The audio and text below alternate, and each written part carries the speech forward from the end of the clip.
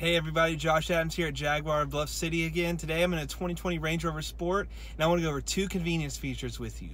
Auto access height and auto column adjust.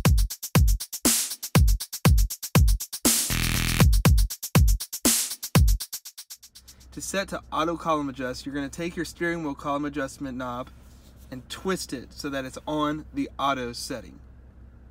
Once the column is set to auto column adjust, when you turn the vehicle off and open the door, the steering wheel will raise to the highest height and the seat will lower to its lowest level.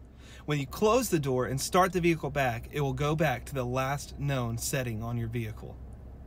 The second one is your auto access height. Let's see how you get to that.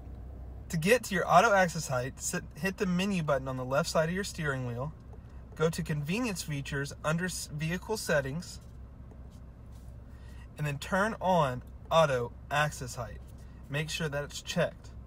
Once that's done, when you stop driving and open your door, if you're on the normal driving height, it will lower to the lowest setting on the vehicle. When you start driving, the vehicle will automatically go back to the normal driving height. And that's how you turn on auto access height and auto column adjust. These are two great settings to help you get in and out of your vehicle more easily. If you have any further questions, please don't hesitate to call us.